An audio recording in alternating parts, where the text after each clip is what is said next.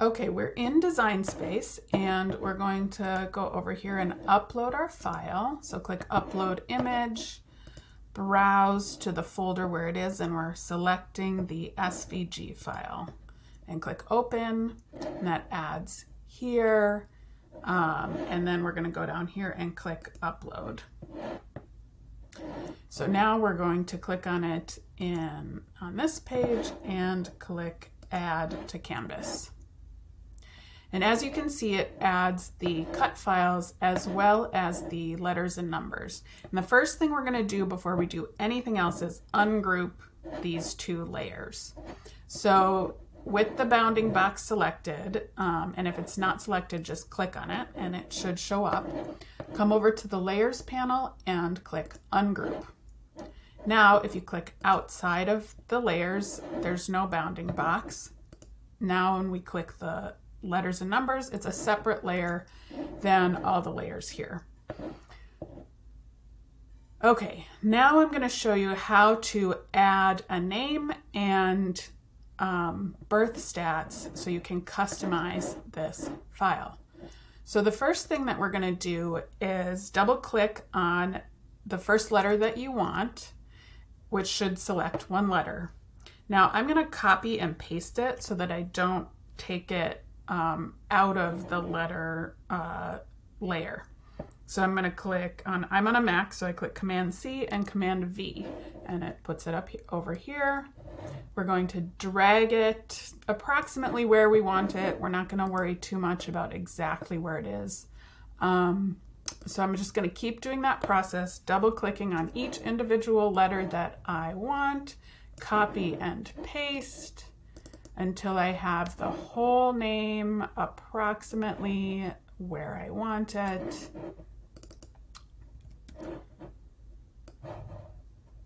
And okay, now I have the whole name, but you can see that they're aligned kind of, they're kind of wonky. So what I'm gonna do is select every layer, um, every letter. So I'm gonna hold shift and select each letter in the name. I'm going to go up here to the top menu, click align and center vertically. So now the name is nice and aligned, but I think I want to kind of adjust where this Y is. So I'm going to click on it and just use the arrow key to kind of move it over. And I might do that with the M a little bit and kind of adjust it until it looks good. Okay, so now we have it um, centered horizontally here, but I also want the whole name to be centered in the middle of this file. So in order to do that, we have to do a couple of things. Um, we're going to click Shift again and select all of the letters together. And then we're going to go over here and click this button that says Combine and we're going to click Unite. Okay, so now those are all one layer. And then what I can do is select this. Um, actually, I'm going to click up here in the corner and select, uh, hold it down while I drag a bounding box just around um, the cut files and the name. So it selects everything here except for the letters. And then I'm going to go up to align again, and I'm going to center horizontally. And you can see it moved the name right nicely into the middle of uh, that file.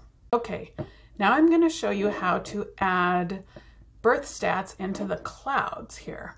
So we're using the same process that we used with the name. I'm going to double click on the letters and numbers that I want, copy and paste, and move them approximately where I want them, but you can see that they are too big for the space, but that's okay. We're going to um, change that in just a minute.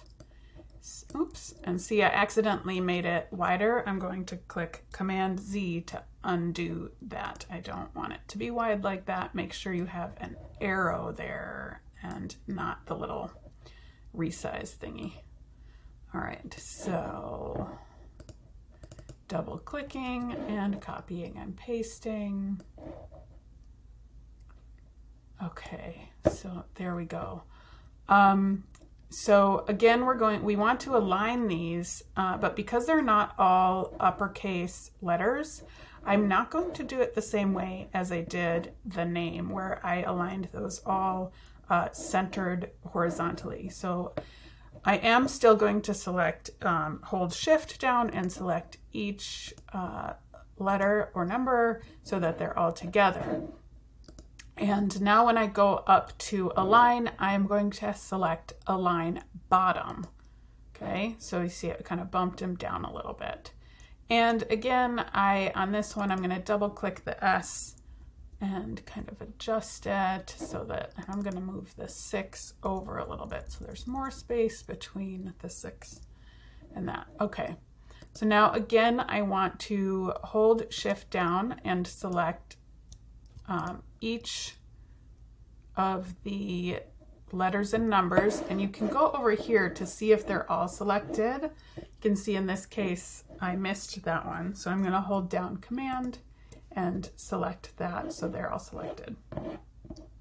Then I'm going to go down here again and click combine and unite. Okay. And then I'm going to resize it to the correct size. So now when I hover over the corner there, um, it resizes everything appropriately. And then I can move it around. Um, you don't want to get too small. Oops, I don't want to go up and down. Um, just because, you know, when you're cutting things out. Um, so let's say, oops, see, I keep accidentally resizing it up and down, I, and I'm undoing that.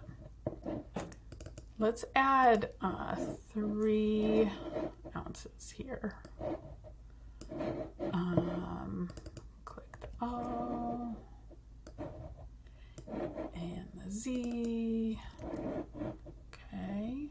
Doing the same thing, copying and pasting. Oh, see this, it gets tricky to move them around when they get small. Um, okay align bottom and I'm gonna move that over a little bit.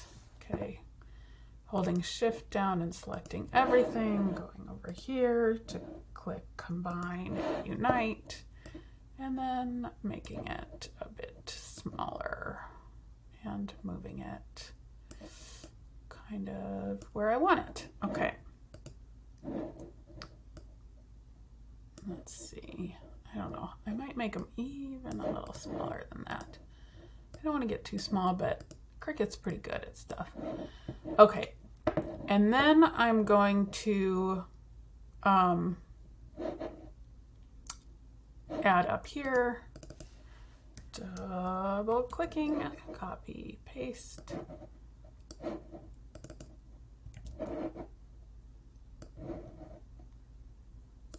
Okay,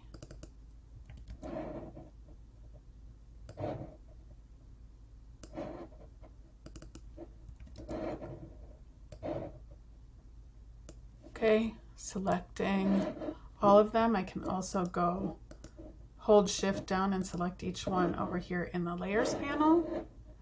Click align bottom and then go down here, click combine, unite, and then resize as needed.